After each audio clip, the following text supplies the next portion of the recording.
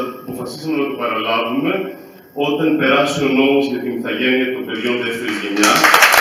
Ε,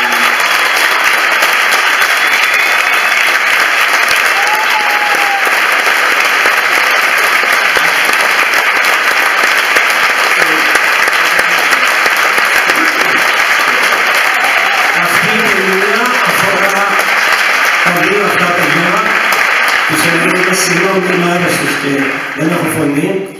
Η ταινία διαπραγματεύεται αυτό το θέμα με αυτά τα δύο παιδιά. Ξέρουμε ότι εδώ και 20 χρόνια υπάρχει αυτό το πρόβλημα και ότι η υπουργός από πληροφορίες που έχουμε δουλεύει πάνω σε αυτό. Ελπίζουμε σύντομα να ψηφιστεί αυτός ο νόμος, γιατί υπάρχουν πάρα πολλά άτομα, πάνω από 100.000 άτομα, δεν ξέρουμε ακριβώς τον αριθμό, αν είναι 100, αν είναι 150 100 με 200. με 200 και όπως καταλαβαίνετε είναι πολύ μεγάλος αριθμός ατόμων. Ε, Εμείς θα χαρούμε πολύ να το παραλάβουμε και να το πάρουμε σπίτι μας αυτό το βραβείο μόλις επιτέλους ψηφιστεί όπως έχουν υποσχεθεί αυτός ο νόμο, ο οποίος θα κάνει όλα αυτά τα παιδιά που έχουν γεννηθεί στη χώρα μας ή έχουν μεγαλώσει και έχουν πάει σχολείο εδώ να έχουν τα ίσα δικαιώματα με εμάς.